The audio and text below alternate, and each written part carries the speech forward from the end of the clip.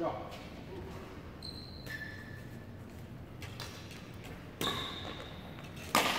Grip is harder. Huh? The grip is harder, the shot is different.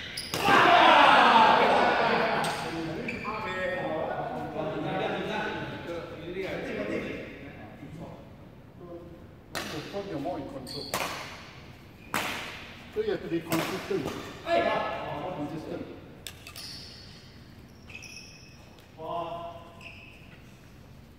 Because the problem is a lot of players when they're tired, ah, they